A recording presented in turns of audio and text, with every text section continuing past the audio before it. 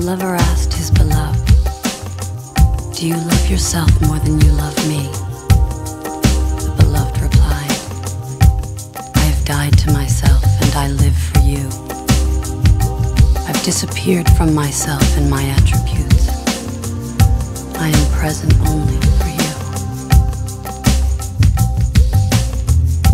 I've forgotten all my learnings, but from knowing you, become a scholar.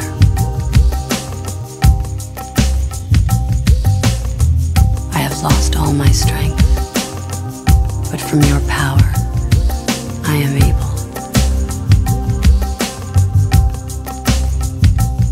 If I love myself,